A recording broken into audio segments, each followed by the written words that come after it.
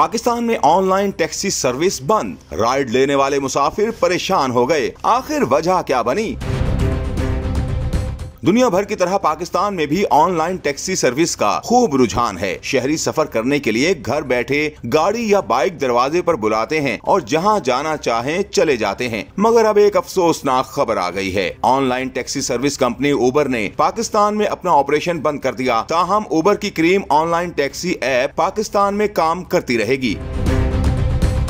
Online cab service के तर्जुमान ने ओबर की ऑपरेशनल सर्विस पाकिस्तान में बंद किए जाने की तस्दीक कर दी। तर्जुमान का कहना है कि ओबर की Careem online taxi app Pakistan में काम करती रहेगी। इससे कबल 2022 में ओबर ने कराची समेत पाकिस्तान के बड़े शहरों में अपनी सर्विसेज़ बंद कर दी थी। ओबर की जानब ऐसी कराची, मुल्तान, फैसलाबाद, पिशावर और इस्लामाबाद में सर्विसेज़ बंद करने की तस्दीक की गई थी।